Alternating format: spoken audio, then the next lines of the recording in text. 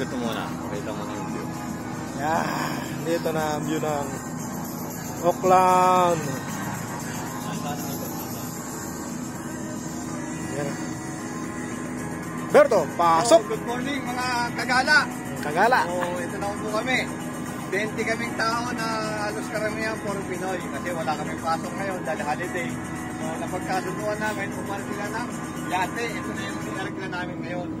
Nasa taas po kami.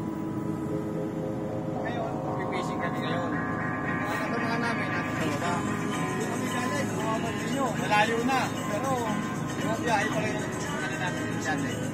So, napagkasunduan namin na magkano kami ng 20-20, natuwaan lang. 20-20 kasi isang tao, pustahan to. Palakihan ang huli. So, sa first prize, meron kang matatanggap ng $250.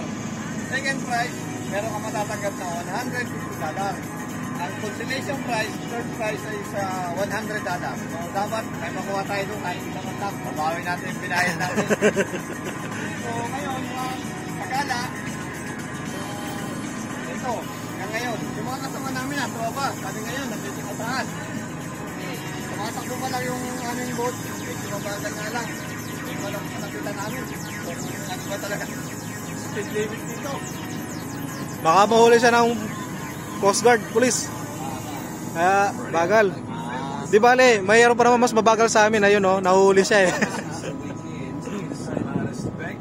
hey, ako, pero